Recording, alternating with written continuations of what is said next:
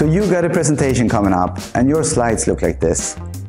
Hey, relax. With Pickit, you can avoid last minute presentation panic.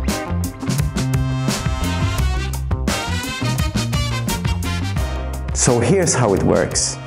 You're in PowerPoint, you open Pickit, you browse your company's collections and images, you find one you like, and then you click to insert it.